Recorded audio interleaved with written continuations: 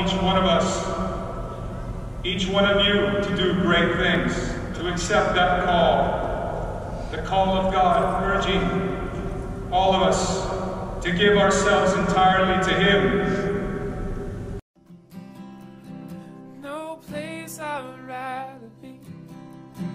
No place I would rather be. No place I would rather be. Than here